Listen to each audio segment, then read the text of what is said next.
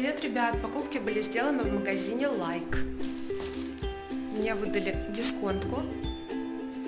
Ну и мой мусор теперь после покупок. Вот, у меня никогда не было. Это мои первые, и меня, конечно, удивило то, какой у меня размер подобрали. Вот.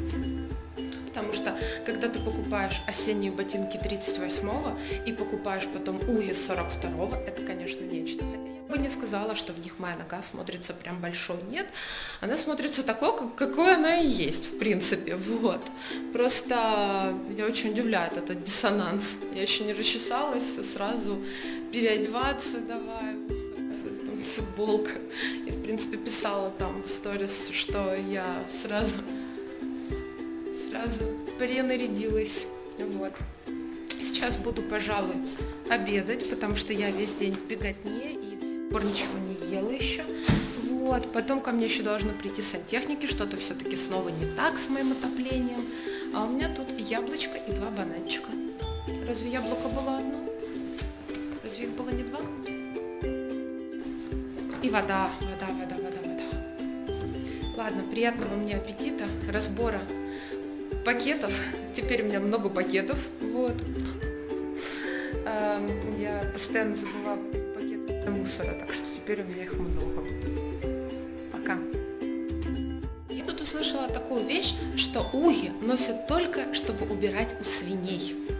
Класс. Ну, типа, это такая обувь для уборки свиней. Замечательно. А, шутка, конечно, классная, но, тем не менее, человек, который так рассуждает, видимо, никогда не жил в деревне и не видел, как убирают у свиней. У меня вот до этого была обувь за четыре с половиной тысячи ботинки, и они офигенно разлезлись. Сама кожа, ей просто жопа. Вот. Сейчас у меня уги за 800 рублей. Интересно, насколько хватит их.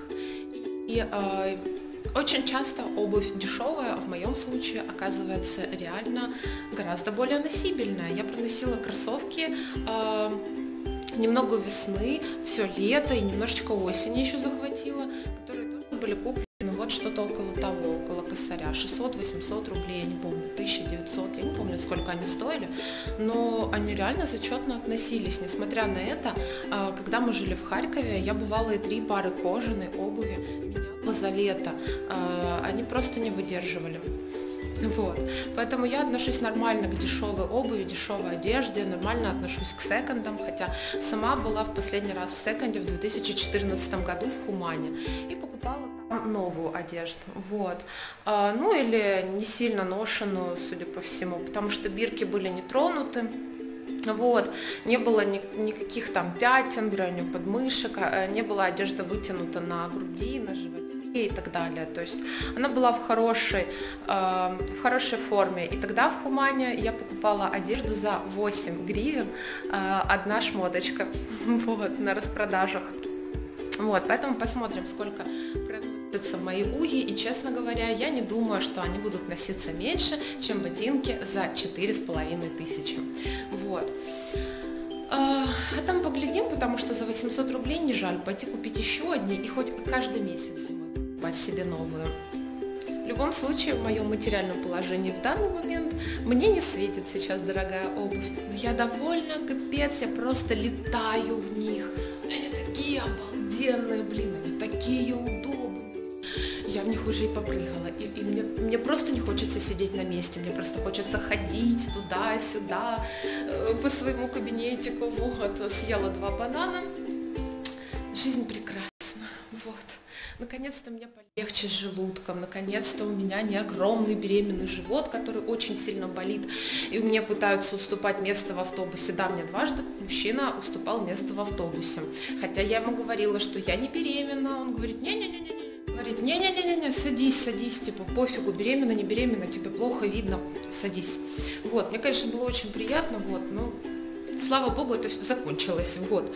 Приятнее, когда тебе беременную уступают место, а не когда у тебя вот такой раздутый живот, болит, и это было ужасно, это было ужасно. Вот. А, никому такого не желаю. Берегите свое здоровье, свои желудки, не ешьте дрянь.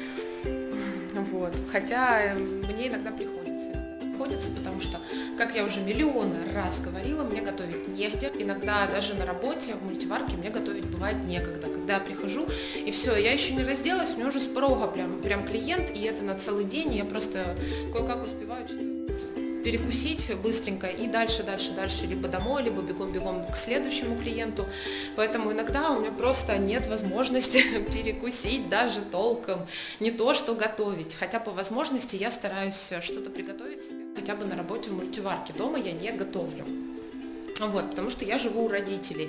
Даже если я приготовлю, мне некуда будет положить эту еду. Я не хочу эксплуатировать их продукты или их кухню, потому что они тоже готовят, они заняты, им тоже нет я, я не хочу, я не хочу толкаться на кухне.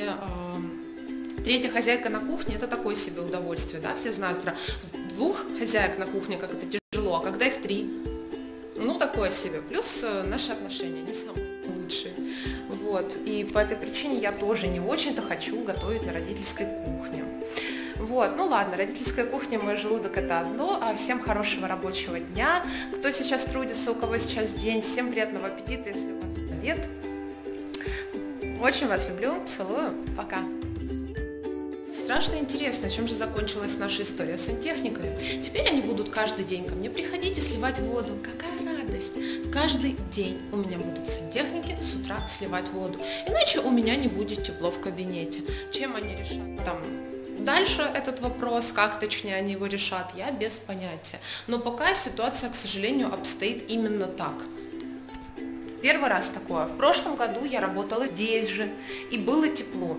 Я бы не сказала, что было прям ну очень тепло, но тем не менее было потеплее. А сейчас у меня нет отопления вообще в кабинете. Класс!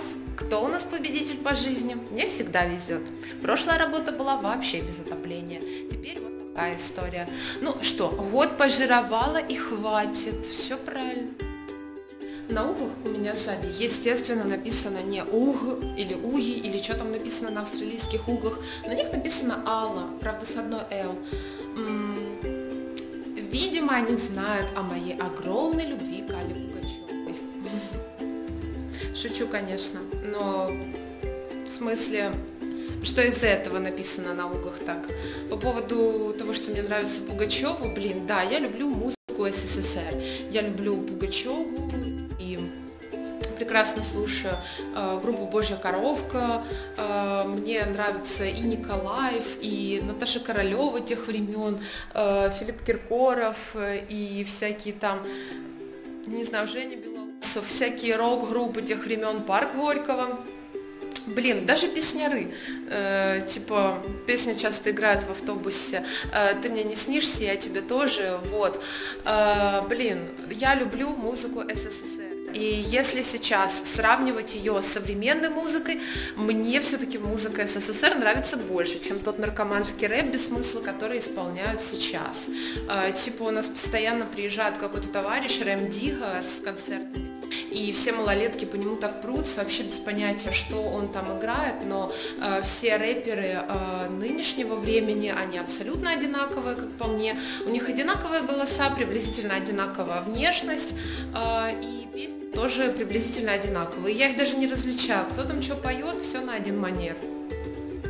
Музыка СССР, Алла Пугачева. Также Ария, Сплин, Агата Кристи, э, Егор Летов его группа «Гражданская оборона». Э, ну, а также во мне прекрасно уживается любовь к блэк метал группам. Кто это сбежать хотел только что? М, Хомочка.